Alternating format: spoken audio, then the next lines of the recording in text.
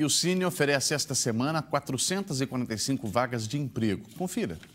São 165 vagas para operador de telemarketing receptivo, 150 para operador de telemarketing ativo e receptivo, 5 para motofretista, 3 para motorista de carro de passeio, 3 para vendedor interno, 3 para costureira e duas para atendente de balcão, entre outras.